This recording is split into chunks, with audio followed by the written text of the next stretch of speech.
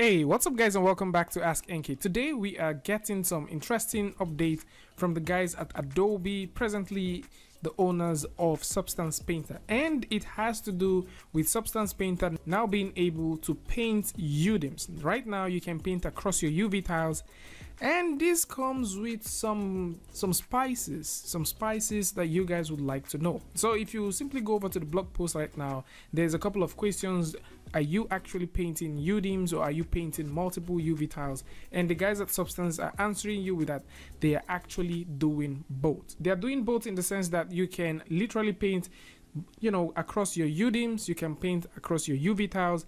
And the way they're looking forward to this is contrary to the typical method of you just painting towards the positive space especially when you're painting within your UVs now they're considering that you can also paint within the negative space and also have something very reasonable happening for you right there. So the whole idea for them is they're trying to supercharge your texturing ability so that you'll be able to save time, get your project done faster, and also increase your functionality while you're working right here in Substance Painter. And to me, I think it's just so much joy and it's just very good news to see that UDIMS is finally here as a feature the Substance Painter now supports. Now, with all of this said, if you simply go over to the link which I'm going to put in the description, You'd also notice that there are certain things and certain updates that they've also put together. They are looking forward to redefine the workflow of how you get to work and they're also trying to make things very fine as they are kind of configuring all of this to fall within a familiar user interface. Before now, we did see something that looked like a preparation for the UDIMs to come in. If you remember previously, if you're trying to work with Substance Painter, it actually suggests that you should open your UDIM files as texture sets, but right now those things are things of the past as they've gone through to update the settings because once you're about to import, you can choose to use UV tile workflow and preserve your UV tile layer material and this is going to enable you painting across the tiles. Now what happens here is if you have multiple tiles substance painter now has a very interesting method of knowing how many tiles that you have. So once you bring in four tiles it actually names it four. Once you bring the three tiles you get to notice that it labels it three tiles. Now once you bring in these three tiles it is very intuitive now you can choose to use these tiles the same way you use your default textures, the same way you use your default stuff directly in Substance Painter. The only difference here is if you're working on the body, if you're working on the head, for example, with the dragon sample that we have here, if you're working on any part of this model, you would also see the amount or the number of tiles that you have there. Some other updates has also been done to the user interface to accommodate some of the changes that we have here.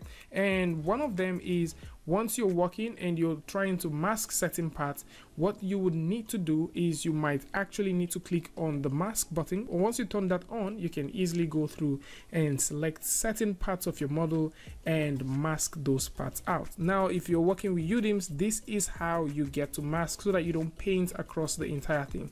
But regardless of that, you can choose to paint across either on the 3D viewport, either on the 2D viewport, you can simply get things going. For the masking, once you choose to mask things, you cannot paint across this. It gives me so much joy to see that they did not just introduce the UDIMs, but they also found a workaround this that is not going to be totally you know are disengaging from the original workflow that persons working with substance painter already knows how to so all of the process that you use while working all of the methods that you use while working they are still preserved as you can simply pick a material throw that material in and get the material across the entire UDIMs. You can still mask these materials if you want. You can still mask the UDIMs if you want. And when it comes to baking you can still get your bakes done. And once you're done with your bake you can still proceed to apply these bakes you know and you know do practically anything that you want. And you might be wondering what if you're trying to paint and you don't want to paint on something and you're masking it and you don't want it to be visible. All right, there is a brand new button that is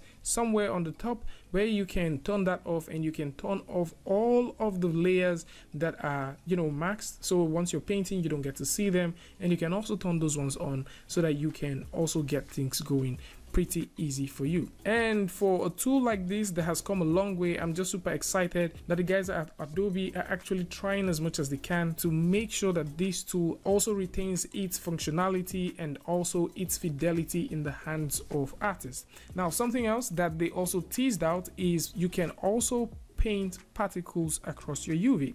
So contrary to you know just painting normal stuff you can also choose to paint particles and these particles would act as if it is just one unified you know UV layout that you're painting and you can go through and paint all of these things the same thing occurs with generators if you're trying to play with the generators as well you can use your traditional generators that you have and you can also paint across so UDIMS is here to stay and it's very interesting to see that the guys from Substance now have this tool ready. If you have any questions about this, you can also put that in the comment section. I'm going to put links to all of this in the description so you guys can see. A funny thing that I actually noticed is the post says July 20th, but this was just tweeted nine hours ago. So tell me what you guys think about this in the comment section. And of course, if you like this video or you learned something from this, you can go ahead and give it a like and don't forget to share with a friend and if you're new here it's going to be amazing for you to hit the subscribe button